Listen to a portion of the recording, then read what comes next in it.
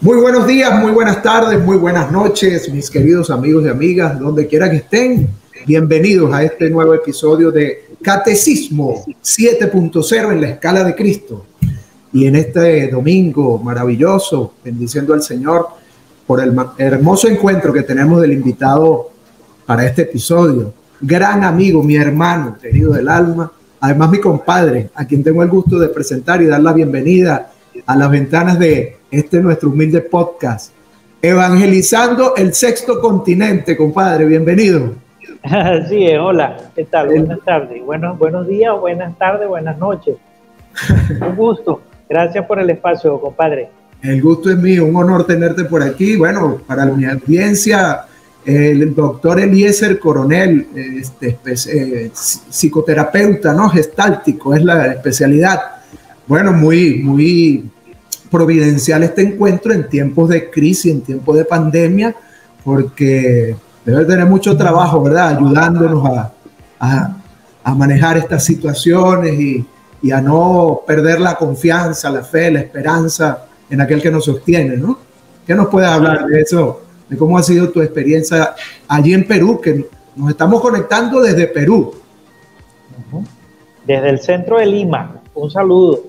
Bueno, maravilloso. Un saludo de Santa Rosa de Lima, de San Martín de Porres, Santo Toribio de Provejo, San Francisco Solano y San Juan Macías.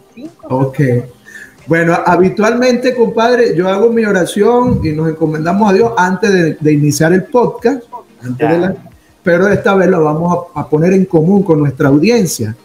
Vamos a pedir al Señor que, nos, que envíe su Santo Espíritu, ¿verdad? Con una oración que se me inspiró en, esta, en estas noches eh, y que compartí también con mi compadre. Señor, concédenos entendimiento para contemplar la verdad que nos libera y docilidad para abrazar tu voluntad que nos salva. Por Cristo nuestro Señor. Amén. Amén. Bueno, compadre, ahora sí, estamos con las botas puestas, los guantes puestos. Que sea el Señor el que conduzca este podcast en el nombre de Dios. Háblame un poquito de cómo ha sido la experiencia antes de entrar en el tema, de haberte ido a Perú, de estar realizando allá tu apostolado. Para mi audiencia, Eliezer es un laico consagrado al servicio del Señor. Mi papá lo llama el José Gregorio, el José Gregorio de, este tiempo. Y ya eso dice el mucho del porqué. Un alma muy generosa, de verdad, compadre, y un honor. Pero cuéntanos cómo fue ese proceso de irte allá, de estar en esas latitudes hermanas y poner al servicio del Señor allá lo que eres, lo que haces. Sí. Bueno, esta experiencia ha sido para mí una, una verdadera transformación de mi vida. Yo en Venezuela lo tenía todo resuelto, gracias a Dios, humildemente, pero sin complicaciones. Hasta que la vida se me empezó a poner pequeñita, como la mayoría de los venezolanos tomó la decisión de Bueno, eso fue una experiencia muy intensa. Eh, enfrentarme con, con las carencias, porque me vine con muy poco dinero, y con muy pocos conocidos. De hecho, acá en Perú tenía dos o tres personas muy, que no eran cercanas. Yo salgo para Chile y antes de, montarme en el avión, el señor me cambia los planes y me dice que me que Perú. La misma aerolínea cometió un error y lo subsanaron regalándome el pasaje para Perú. Ah, el destino inicial era ¿Eh? el destino inicial de tu plan era Chile. Era Chile. Ah, pero el señor dijo que era Perú. El señor. cuando, y cuando me iba a montar en el avión hubo un percance ahí con la aerolínea, con el permiso, yo no llevaba visa, etcétera. Ajá bueno, tenemos que cambiarle el pasaje para Lima, va a salir el 11 de septiembre, día de la Coromoto. Yo iba a llegar a, Santiago de Chile el 18 de agosto, como así fue. Yo estuve 24 días en, Santiago. Pude conocer lo que es la realidad del migrante en Chile y luego conocer lo que es la realidad del migrante acá en Chile, para llegar a lo que no gustas hasta ir por donde no gustas. eso fue una, experiencia muy bonita porque Dios empezó a encargarse de toda mi vida. Okay. Yo no estaba, los años que tenía en Venezuela, que yo estaba entregado a Dios. Eso era mentira. Eso era mentira. Tenía todo resuelto. ¿Tú, pensabas que estabas entregado a. Pero yo tenía una idea de mí completamente equivocada. Cuando yo salgo de Venezuela, que yo, que yo empiezo a estar en la absoluta desnudez en las manos de Dios, es que yo digo, ponchale, yo no estaba Bueno. Tomar conciencia de mi resistencia a Dios.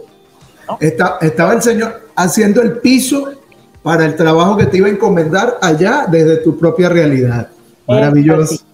Sí, bueno, como, como el Señor, una vez que yo aflojo mi resistencia y que yo le digo, ok, Señor, como tú digas, yo no voy a hacer planes, como tú digas, empezó como que si se abriera una cortina a salir las oportunidades y a ubicarme.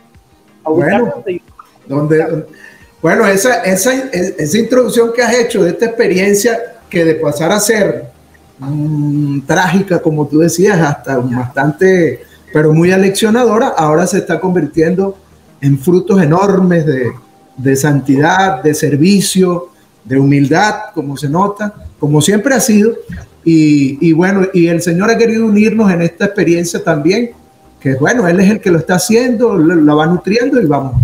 Y bueno, no podía ser más interesante y más acertada esa introducción, como decía, para que abordemos el tema que nos ocupa en este episodio número 3, que habiendo entrado, después de haber visto la estructura del catecismo, vamos a entrar en lo que son los artículos de fe contenidos en el credo. Y obviamente arrancar con lo que es el dogma de nuestra fe de la Santísima Trinidad, y de ellas pues tocar la primera persona, la Santísima Trinidad. Eso que a San Agustín le costó tanto y dentro de su proceso, aquella anécdota maravillosa del niño en la playa con el padre Agustín, ¿no? Aquel profundo teólogo tratando de explicar aquel misterio de la Santísima Trinidad, cuando el niño se le aparece y dice, bueno, pero ¿qué estás haciendo ahí? Recogiendo el niño el agua del mar para meterle en un hoyito. Y padre Agustín Decía, pero ¿qué haces? Eso es imposible, meter ese inmenso mar en ese hoyito. Y dice, Padre, a ti, Padre Agustín, también imposible que metas este misterio tan grande en tu cabecita. Entonces, bueno, bienvenido. Tratemos el tema de creo en Dios Padre, ese Padre que nos sostiene, que nos creó y que tiene un plan maravilloso en nosotros, pero para el cual nosotros debemos conscientemente corresponder. Bueno, ahora sí, compadre, dele que no viene carro. Bienvenido. Claro, claro, gracias. Bueno, fíjense, con, contándoles la experiencia de la migración, y cuando yo estaba un poco preparándome para este tema de, me daba cuenta que, de que mi experiencia de migración realmente me sirvió para comprobar de que Dios es Padre, de que Dios es mi Padre. Me ama profundamente, me conoce profundamente, que conoce profundamente sabe lo que es bueno para mí, cómo tengo que hacerlo.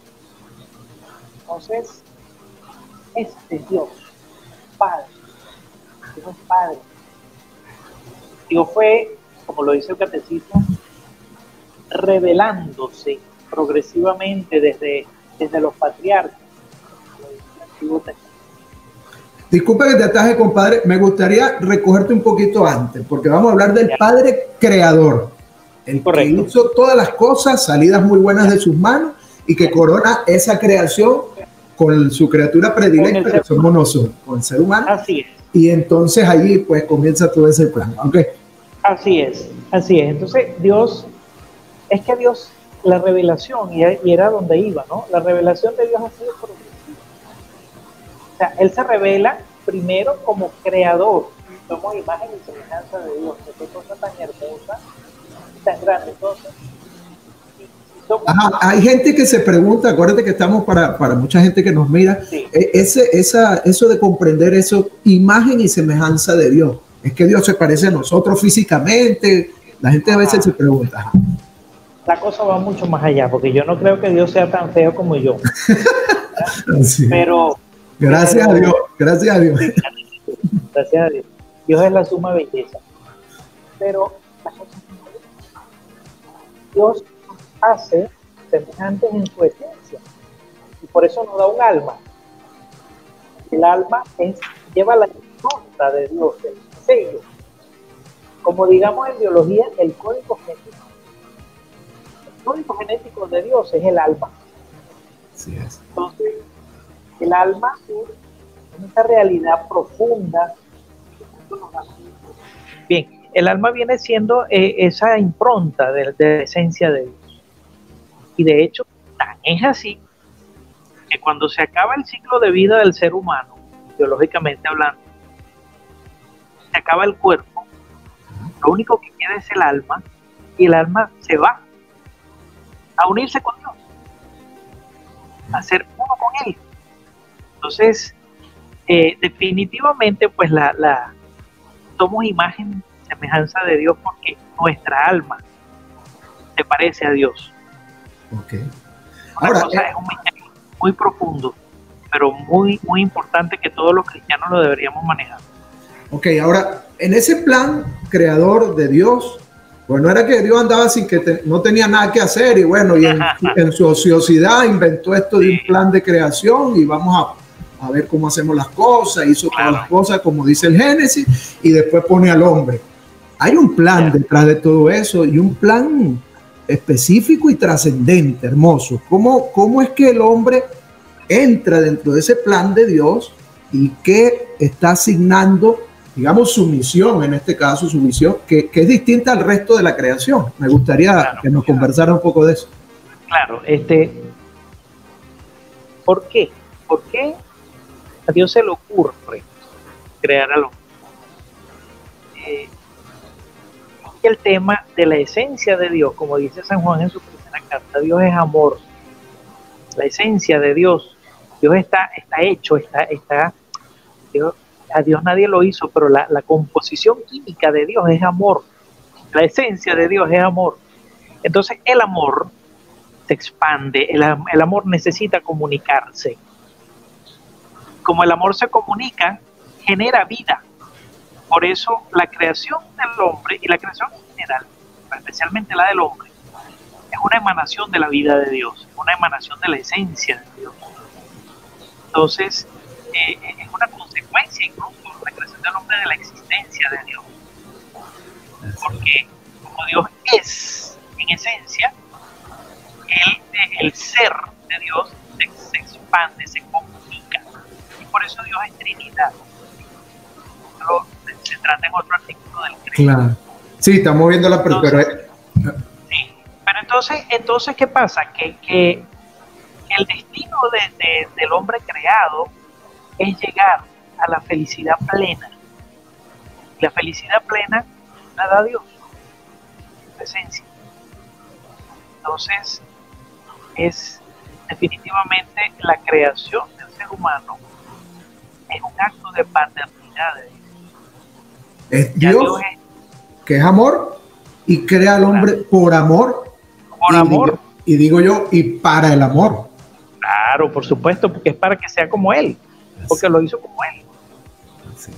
Bien, ahora, dentro de toda la creación, Él signó a, distintas cosas. La especie, las distintas especies animales obedecen a unos instintos. Nosotros también participamos de esa dimensión animal pero hay algo que nos diferencia, una connotación distinta a todo lo creado, que es lo que quizás nos eleva en el, en el concierto de esa creación perfecta, equilibrada.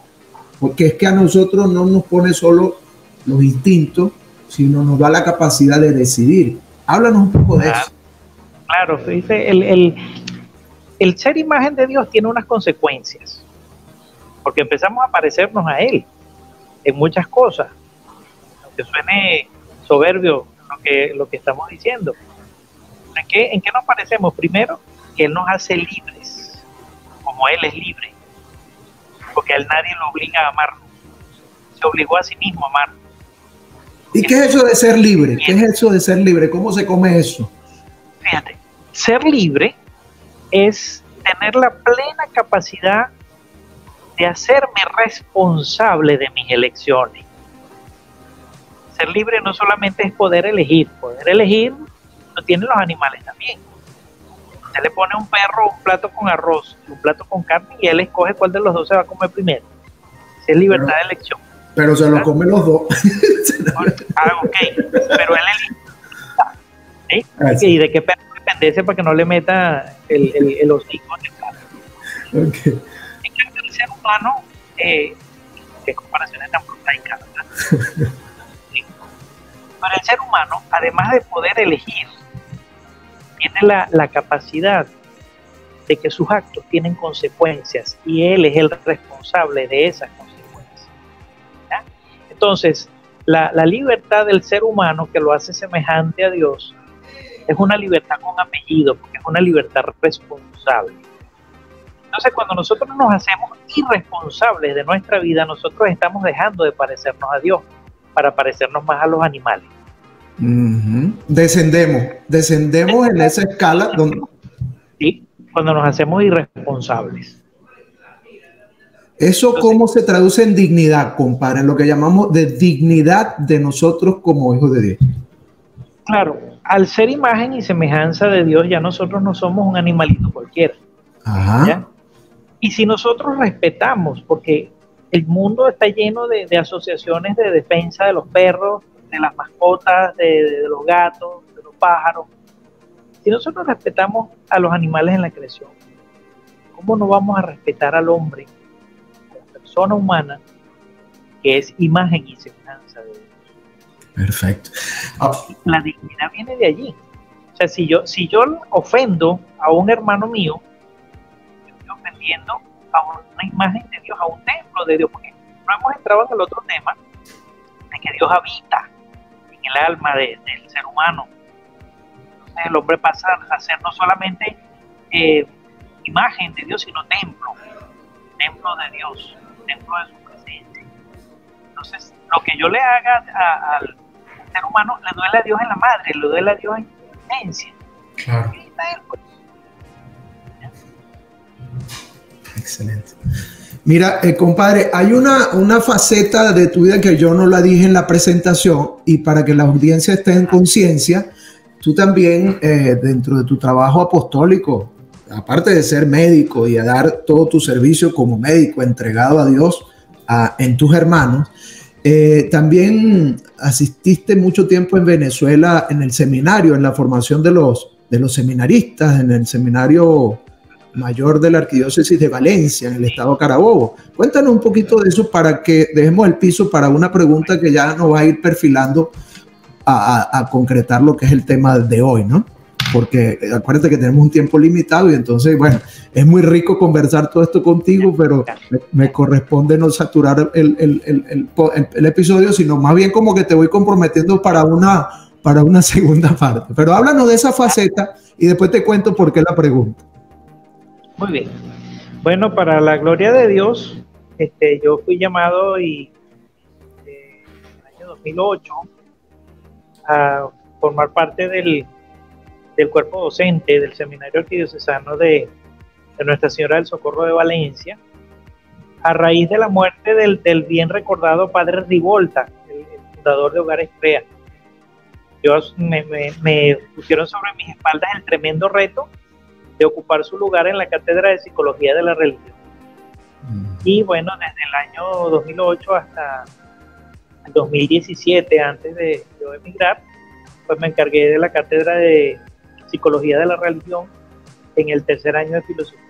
Entonces pude compartir, acompañar este, a, varias generaciones de, de, hoy sacerdotes, para Y también me correspondió el trabajar como acompañante de psicoterapia de los procesos vocacionales de los muchachos y de parte del clero de Valencia también.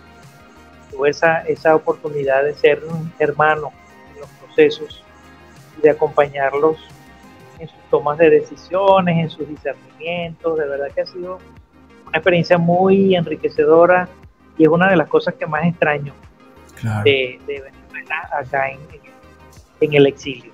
Bueno, por eso quise destacar esta faceta, eh, Eliezer, porque de alguna manera el Señor nos está pidiendo en este tiempo de angustias para muchos, otros hemos visto el lado positivo de esto de la presencia de Dios hablándonos en este tiempo de dificultades, de confinamiento, donde más bien hemos elegido un momento precioso de gracia para el reencuentro, para la introspección, pero para mirar sobre todo y discernir qué es lo que nos pide Él a cada uno de nosotros en este tiempo. Entonces, que ha acertado no solo tu especialidad, ¿no? Para eh, el estudio de los comportamientos, em, los sentimientos y las emociones de ese hombre, creación de Dios, que en esa perfecta integralidad pues deposita su fe y su confianza, o al menos a eso estamos llamados, en aquel que lo sostiene todo y que después nos puede decir, pero no tengas miedo, nos dice nuestro Señor Jesucristo en la segunda persona, pues yo, yo estoy contigo y es el mismo Dios. Bueno, ese Padre creador, pero además sustentador de todas las cosas, porque mucha gente dice, bueno, esta pandemia, gente que llegó a decir, bueno, es el fin del mundo y esas cosas, ¿no? Entonces, donde una fe se ve minada, una esperanza pues eh, destruida. Quisiera que nos deje ese mensaje alentador en este tiempo del descubrirnos en esa dimensión de esta aparente crisis, pero que de la crisis brotará en cada uno de nosotros, dependiendo de la docilidad, ese plan maravilloso que Dios quiere. Bueno, yo empezaría sugiriéndoles con todo el respeto del mundo a todas las personas que nos sintonizan, que se hicieran esta pregunta. ¿Y si es el fin del mundo, qué pasa? ¿Cuál es el problema si es el fin del mundo? O sea, no, no creemos, no decimos que creemos en un Dios que es Padre nuestro.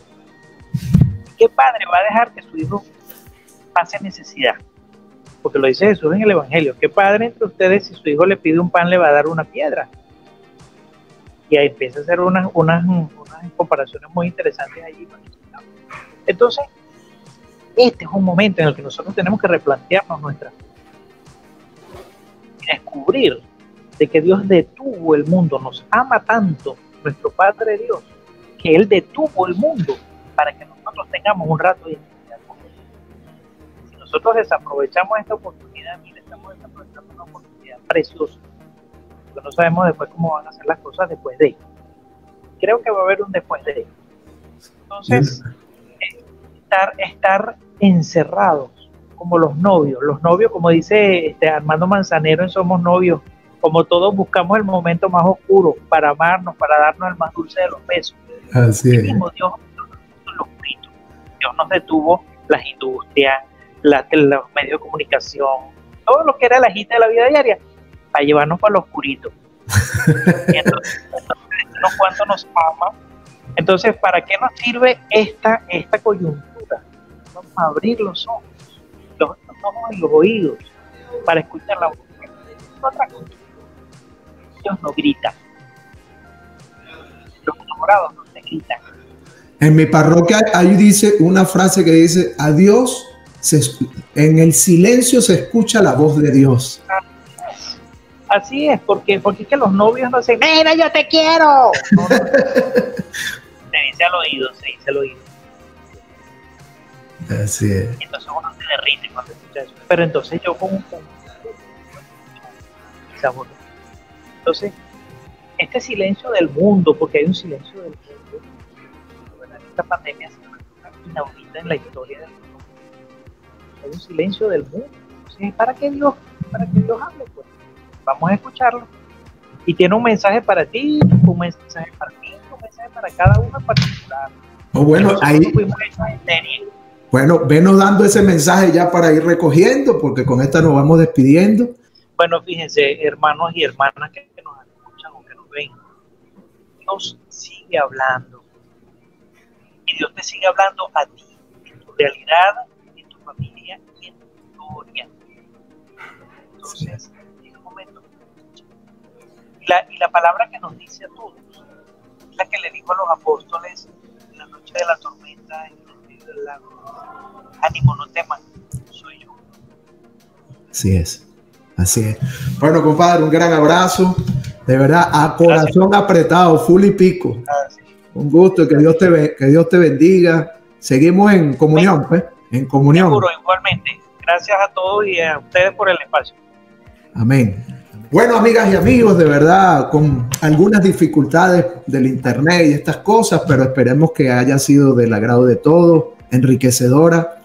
Eh, en una segunda temporada seguramente podemos eh, profundizar en esta materia, pero por lo pronto, pues ahí queda ese boca, ese aperitivo que nos invita no solo a seguir profundizando en conocer a nuestro Padre en su dimensión de Padre creador y sustentador de todas las cosas, que nos ama profundamente, que en su amor y misericordia pues nos deja libres para que conduzcamos los destinos de nuestras vidas, pero que no nos deja solos y nos asiste con su espíritu y que a fin de cuentas nos acompaña para que vayamos construyendo esa nuestra vida desde y para la eternidad feliz. De esta manera llegamos al final de este tercer episodio de Catecismo 7.0 en la escala de Cristo, agradeciendo el enorme trabajo dedicación que pone nuestro equipo de producción con todas estas dificultades, sorteando los detalles técnicos para poder llegar a cada uno de nuestros hogares. A ustedes, nuestra distinguida audiencia que ha ido creciendo y nutriendo este podcast, los comentarios fabulosos y, y que nos mantenemos pues en la comunión, conscientes de que el Señor está haciendo una obra hermosa, maravillosa a través de esta humilde plataforma, tarea evangelizadora, Catecismo 7.0 en la escala de Cristo. Hasta la próxima. A corazón apretado, full y pico.